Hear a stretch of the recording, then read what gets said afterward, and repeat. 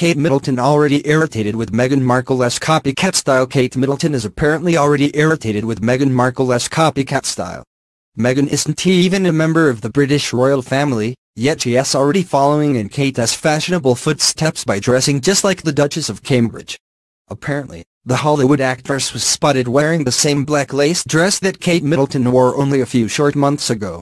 The Duchess of Cambridge makes headlines for all of the stylish outfits she wears in public, and that is why royal fans can't help but wonder why Meghan would choose to wear something that is already sitting in Kate's closet. If that weren't enough, reports also indicate that Meghan has already adapted a more conservative, royal look. She is stitching all of her figure-hugging dresses and miniskirts as she's already following Queen Elizabeth's fashion rules and guidelines. Meghan is not even officially engaged to her boyfriend Prince Harry, yet she is already taking all the necessary steps towards becoming a royal princess.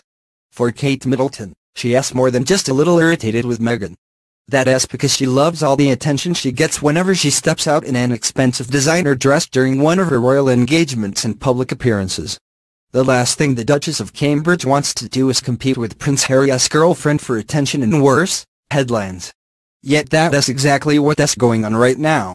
Meghan has already been declared the more stylish girlfriend with her sexier and edgier wardrobe. Plus, Meghan already has something that Kate can only wish for, and that is a natural ability to work a red carpet. After all, she has been doing it for years. Meghan knows exactly what to do and what to say in front of a camera. Kate, on the other